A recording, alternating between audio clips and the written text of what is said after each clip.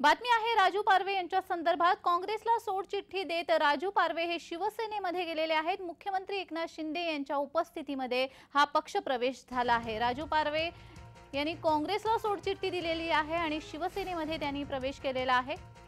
मुख्यमंत्री एकनाथ शिंदे तसेच उपमुख्यमंत्री देवेंद्र फडणवीस उपमुख्यमंत्री अजित पवार यांच्या उपस्थितीमध्ये हा पक्ष प्रवेश आहे